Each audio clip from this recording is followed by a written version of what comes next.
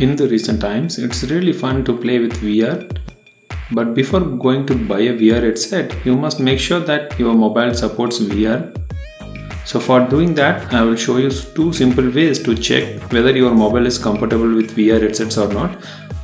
For doing the same, just download this app. I will leave the link in the description for the same. Once it is downloaded, open the app and you will see this check option. Hit the check option Basically VR needs two sensors. One is gyroscope and another one is magnetic sensor.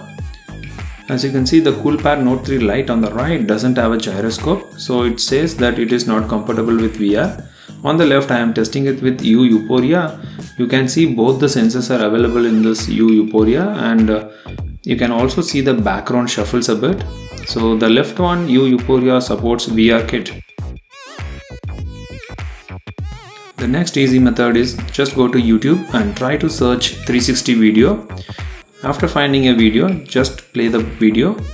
You can see the both the smartphones are playing the same video but the Coolpad Note 3 doesn't show you these options where the 360 degree video is not supported. Whereas in YU Yuphoria once it is played you can see this Google Cardboard symbol is available.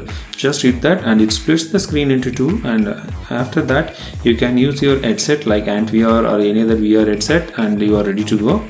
So this is two of the fastest way that where you can check your smartphone that supports VR or not. If you have any questions or if you have any queries regarding virtual reality VR content do let me know in the comment section below I will be posting more VR related videos soon. So do subscribe to the channel and don't miss out all those videos. If you like this video, hit the like button. Hope to see you in my next video. This is Thames signing off.